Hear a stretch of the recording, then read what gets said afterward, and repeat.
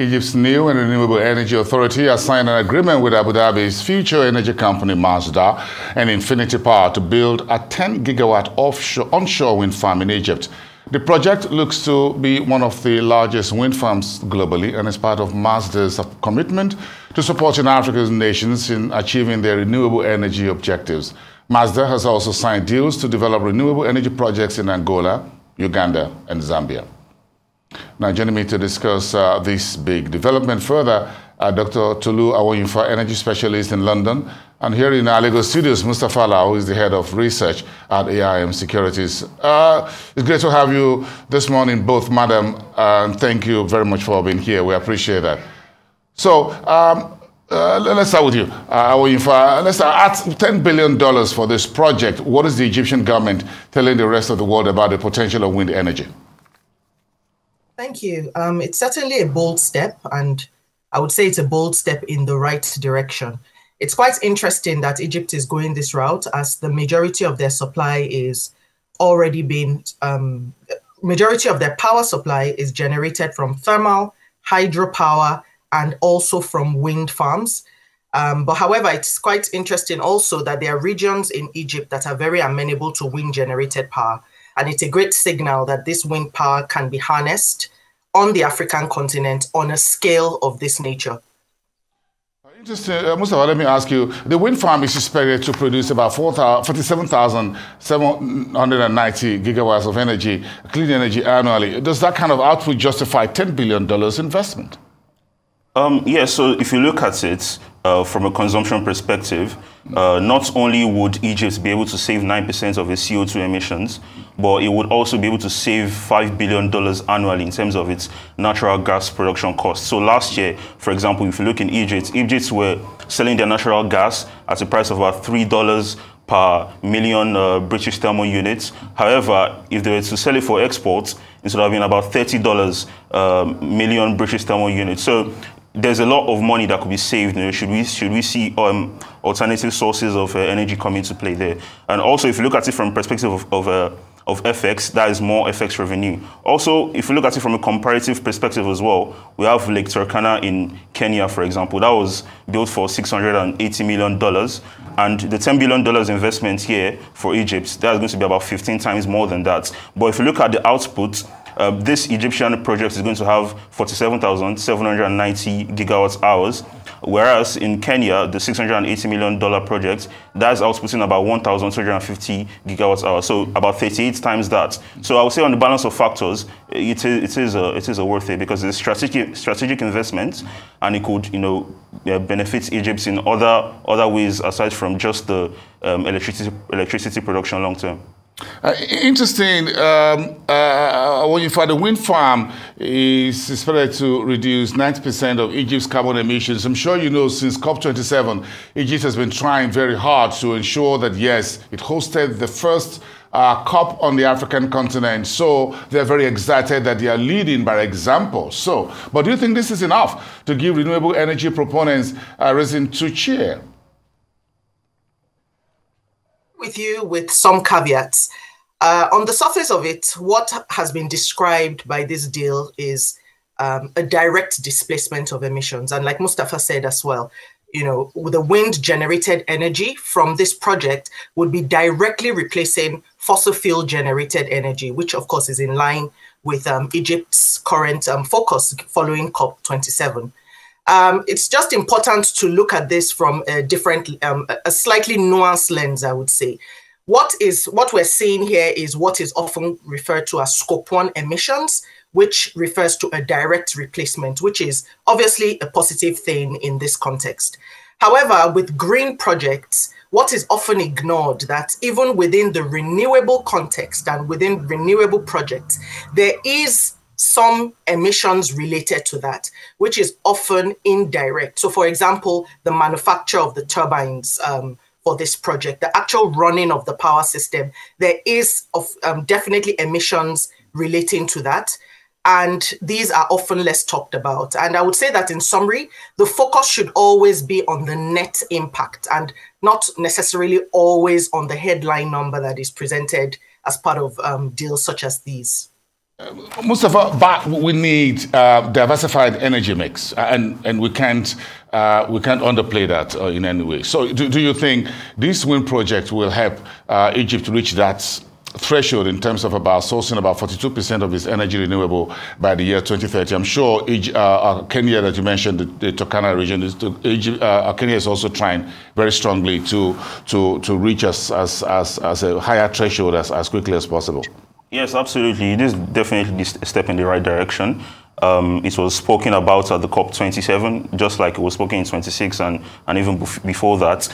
Um, yes, diversification is very important. You know, having a diversified energy mix is very important. Um, I think one of the key objectives that you can achieve with that is energy security. So, you know, when you have energy security, uh, you know, then you're able to develop even from an economical perspective at a, at a much faster rate. Um, if you look at um, you know, the quintessential or common energy sources that we have. You're talking about crude oil, natural gas, coal. These are commodities that are hinged to market forces. And when you have a situation whereby uh, they are, you know, uh, you know, there are different uh, factors within the markets that could potentially impact these commodities, then you're also susceptible to, to them. You could have geopolitical tensions, for example, like we saw with Russia and Ukraine, uh, impacts the prices of natural gas and, and crude oil, and that could even affect your company from, you know, exorbitant prices and just general disruptions. So it's very important to have the energy mix, like you have in Canada, for example, you know, they have hydropower, coal, crude oil. So energy security, that's, that's the aim that here in Africa we're trying to reach. And, you know, these are steps in the right direction, definitely. Okay, so if we take this uh, home, uh, what you find in terms of Nigeria's energy mix, which is basically hydro and gas as we speak, uh, I want you to weigh in on the importance of a diverse energy portfolio here for Nigeria, as well as we've seen a number of African countries trying to make very strong headways, Egypt, Morocco, uh, South Africa, as well as uh, uh, Kenya. Yeah, I mean, I think the, the it's very clear that um, you know energy diversity would bring resilience to the sector. For far too long, we've relied primarily on hydropower and as well gas-powered supply, which of course has its own challenges. On the hydro side, you have to deal with sort of water levels at the uh, at the dams and so on, and of course the potential environmental impact from hydropowered plants and gas supply as well, heavily reliant on infrastructure, which um, is one of the challenges that we have um, within the Nigerian context. So I think that di- um, diversity that wind and, um, you know, for example, also extended towards solar powered um, energy would certainly bring resilience and help to develop capacity in the energy space as well.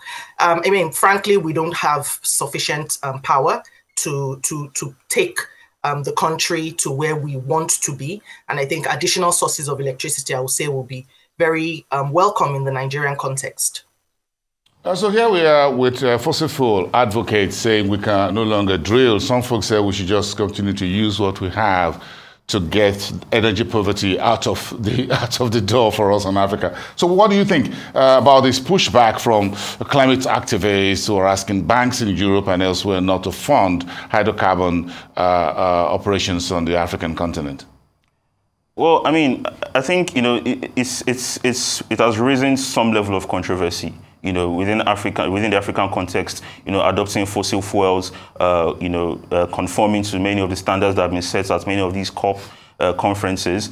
Uh, but I think it's very important to look at things in, in context. So many of the people that are advocating uh, or that you know criticizing the people who are calling for uh, fossil fuel, um, you know, to you know to let go of fossil fuel in Africa, what you see is that uh, there's this highlighting of some level of hypocrisy from a lot of these developed countries so, for example, uh, at the COP 26, um, we saw a lot of these countries, developed nations, it's, it's, like it was a platform for them to come out and call out the sins of developing nations about how they need to let go of fossil fuels and coal. But what we saw just barely a year after that was that many of these countries in Europe, they opened up their, their you know, their, um, their plants whereby they used uh, coal. They started importing coal. Coal uh, over a year went up by 43% in terms of importation from Indonesia and many of these countries. So and what, what was the reason why a lot of these European countries did that was because the situation was kind of dire, right? Um, they were having issues with Russia when Russia invaded Ukraine, and they needed another source of energy.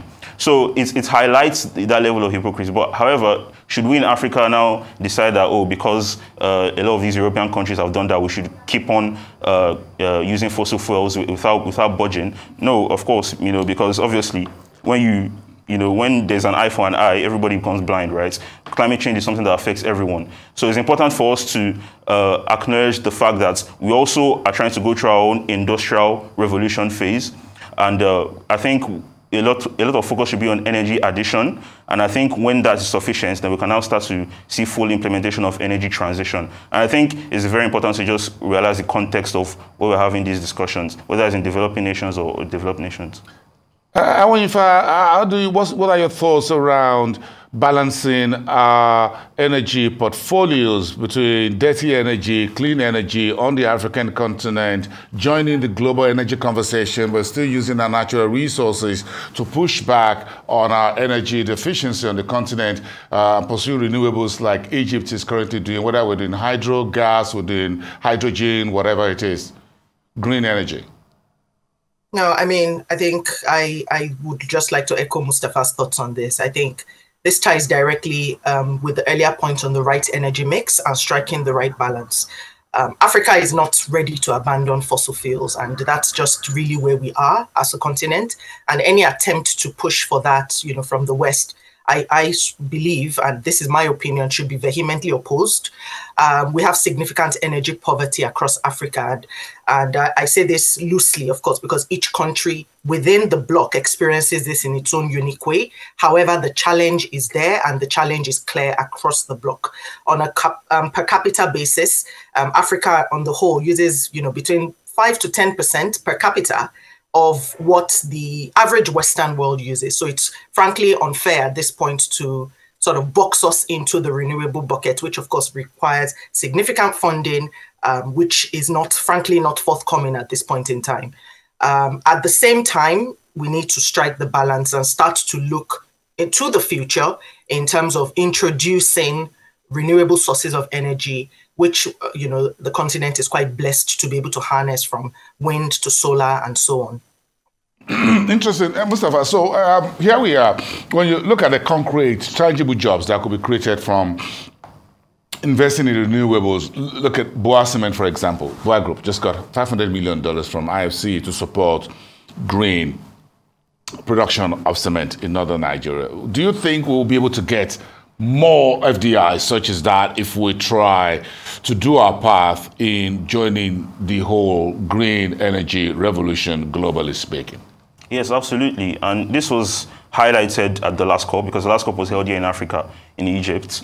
Um, and we also saw some initiatives come out of that, uh, like the um, I, AI, AICM, uh, AICM, ACMI, sorry, ACMI, yes. uh, where we had our former vice president also part of that part of, part of that board. So definitely a lot of eyes are, are, looking at are looking at Africa, but we also need to definitely do our part, like you mentioned. You know, there's significant deforestation, which is something that helps. You know, because forest is something that helps to take a lot of effects of uh, CO2 emissions, yeah. and even in terms of the global trend as well, we're seeing that it's looking very promising. Um, as of 2021, eh, within the renewable energy space, there were 12.7 million jobs, and this is a 75% jump from 2012 right? So that's quite significant. 5.4 million of those 12.7 million jobs are from China alone. And that echoes a lot of the efforts that China has taken in order to uh, significantly develop its renewable energy sources, uh, whether it's in hydro, is in wind, or is in, is in solar. So these are definitely examples that we can look, look towards. Uh, just last year alone, we saw jobs within the uh, renewable energy space rise by about 9%, right? And the um, ACMI, which I mentioned earlier, uh, we have uh, about 30 million jobs which are projected could, could have been made uh, by 2030 and 100 million jobs by 2050. So there's definitely significant uh, promise in terms of uh, employment, in terms of job creation and job, um, job opportunities in that space. And here in Africa, uh, we're already taking some steps. We're seeing within Egypt, within Kenya, and even within Nigeria to some extent with the NNPCL, even though, you know, of, of course, it's not to the levels of, of Egypt yet. The, the NNPC New Energy Initiative. Thing. Yes, with yes. the New Energy Initiative, yes. even with uh, some of the efforts that have been taken to, uh, to um, acquire some downstream assets in order to uh, disperse uh, more uh, more alternative sources of energy aside from the typical or quintessential uh, uh, fossil fuels that we have now. So uh, we're definitely on, the, on that right track, and there's definitely large um, job creation opportunities. Uh, in our best interest, any other benefits that you think renewables can add to uh, this conversation, the way we're moving forward uh, as we begin to wrap up this conversation. Uh, give me any other, top it up for me from what uh, uh, my, my friend here has said so far. Yeah, thank you. I think one last point, I think, from me would be for us to look at to view renewable energy as being complementary to our existing sources of power. So, for example, in order to leverage renewable sources of energy, it's important to have a stable base load um, from more traditional sources, such as thermal fired plants um, and hydro, which are largely more predictable than wind and solar sources, which are again dependent on weather and climate conditions. So I think that's another lens um, by which we should be looking at this. Eventually, in the long run, we expect that renewables will start to you know, form a larger component of the energy mix. But at this point, whilst we are focused on the base load, we should also be considering renewables as a complementary source at this time. Thank you so much, uh, Tolu Awoyinfa out of London and Mustapha Alao out of uh, Lagos here. Thank you so much, both of you. It's good to have you here discussing this very important uh, conversation.